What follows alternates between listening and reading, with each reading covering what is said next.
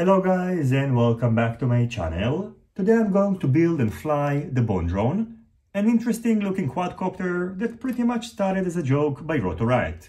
In this video I'm going to show you the components that I've used, give you my feedback after testing out this awkward beard and show you some flight footage. First of all, this build is based on the bone frame. It is manufactured by an unknown company which decided to take Rotor Riot's idea and use it in order to design their own frame. This specific version, which you can find of course linked down below, is available in two versions. I've got the version which is compatible with up to 5 inch propellers, has a wheelbase of 230mm and uses 16 by 19mm M3 motors mounting holes. You can also get a smaller 208mm wheelbase version, which is compatible with up to 4-inch propellers and uses 12 by 12mm M2 motor mounting holes. As for the included components, in addition to the single-piece carbon fiber plate, you're getting a 3D printed TPU canopy, which will enable you to secure a nano-sized FPV camera, an Immortal T antenna, and the antenna of the VTX, a bag with screws and bolts for securing the canopy to the frame, motor protectors, which are not really needed, a metal file and some stickers. As for the specs of this very simplistic frame, the thickness of the carbon fiber plate is 4 mm. On the center of the frame, you can find 20 by 20 mm M3 mounting holes for securing your stack. The carbon fiber plate is carved in order to better protect the wires of the motors. On its own, the carbon fiber plate weighs 25.3 grams and along with the screws and the 3D printed canopy, the total weight of the frame is about 43 grams. Here you can see what it looks like when the frame is assembled, and even though it looks very strange, after all, it is a quadcopter, and the only difference between this frame and other traditional quadcopters is that the back and front motors are very close to each other. As for the other components of this quadcopter, in this build I've used the Zeus 35 Pro all-in-one flight controller, the HGLRC Zeus Nano VTX, an Express LRS radio receiver by Flywoo, the Runcam Racer Nano FPV camera, and the Brother Hobby LA 2005 2450 kV motors.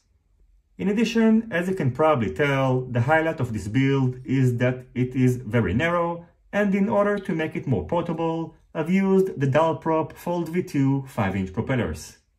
As for its weight, without a battery, this build weighs 181.5 grams and including a 900 mAh 4S LHV battery that should provide you with roughly 5 minutes of flight time, the total weight is 272 grams. Now, even though using the configuration that I've just showed you, this is not a sub 250 grams build, in case you'd like to make it lighter, you can simply use a smaller battery and avoid using the bottom battery protector. In addition, this canopy is not compatible with the Caddx Vista digital transmission system because it is too low, and in case you'd like to make this build digital, you will need to 3D print your own custom canopy, which you can find linked down below. Now for the most interesting question, how does it fly? To my surprise, it is very similar to a traditional quadcopter. I expected the yaw authority to be very minimal, but it wasn't the case. And the only downside, in my opinion, of this build is that it is quite difficult to take off the floor because the bottom motors are very close to it. So you'll need to raise the motors above the ground that's the reason I used the bottom battery protector. And also you need to make sure that the battery is not going to get in touch with the propellers. I had two incidents with two batteries that nearly destroyed the batteries and luckily they were just scratched. But that's the main downside of this build. And overall, I wouldn't recommend building it because it's a good build and probably the main reason that will make you build this awkward quadcopter is that you'd like to add something interesting to your fleet.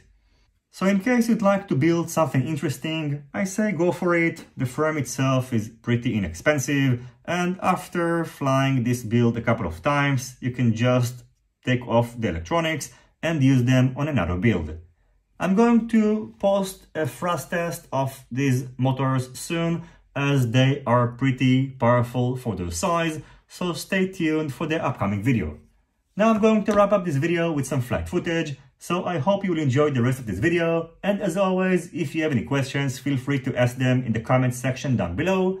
Don't forget to leave a thumbs up if you like this video, and consider subscribing to my channel and hitting the notifications bell if you're not already subscribed. See you on my next videos, and goodbye.